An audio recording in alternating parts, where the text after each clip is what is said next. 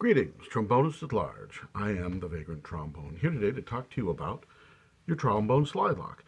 Now, recently I had a student who had used valve oil to try to make his slide lock work better, and it was oozing out and getting black gunk all over his hands. And well, that, a story for another time. Anyway, he asked me how to remove his slide lock so that he could clean it, and I told him just unscrew it on that model of horn. So he immediately unscrewed it and took it all the way, took off the slide and took it off, and then he was like trying to and trying to get it down, and there was grease getting on here and is nicking the, and I was no, no, no, no. I said there's a better way to do it, and I showed him that uh, you can take off the slide lock. What you do is you unlock the slide lock and you pull your slide out a little bit and you grab it with your hand. You don't want it to be too far off because otherwise you might pinch you to handy here and that's no good. So you just pull it down, you hold on to it, and then you simply unscrew it and voila, it falls onto the hand brace and then you can take off the slide like normal. You can clean it up and get all the grease off and do what you need to do and service your slide at the same time. And then when you're ready to put it back on, you stick it back on here, make sure that the little bar is facing the correct direction, and then you bring it back up. But you don't want to bring it all the way up to the top because, ooh, crunch, and then you can damage the slide, maybe even bend the hand brace a little bit. But you get it up here, and then you can simply screw it back on. It just goes, it goes on so easy, doesn't it? All right. Yeah, you don't want to cross thread it like I'm doing right now because then that would be bad too. So you just get it back on there, you screw it all the way back on, and fixed.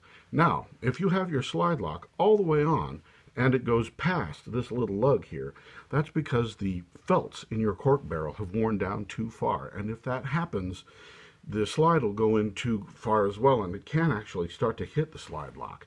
Now, having a shorter first position for some of us might seem like a good idea, because then seventh position's closer too.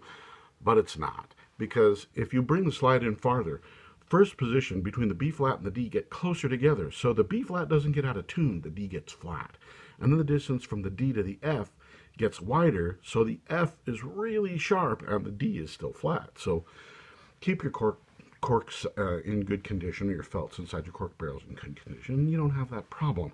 Another thing about a trombone slide lock is you don't want to turn it too hard to keep it over here on this side because if you do it can crush down the threads and that's not good for it either eventually it could actually start to come all the way over and it'll start hitting your hand brace and making noise now some people don't like it because sometimes it pops up it works its way loose while you're playing and then it buzzes well in that situation you remove your slide lock and you pull out some cork grease or chapstick or something and you just take it,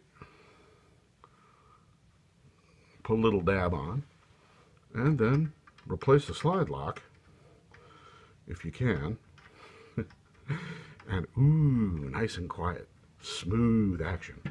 And then it won't buzz. And now that you know how to properly remove your slide lock, it'll be easier for you to take it off more often and clean it and keep it from getting gooey, grimy gunk in there. Because eventually anything, like even the even the uh, even the cork grease will start to come out. And then you get gooey grimy gummy goop all over you and it gets on you and your clothes and your music and you might get some on your face. And at the end of a concert your mom won't want to give you a hug for doing a good job and your girlfriend will never kiss you. So uh, try to avoid that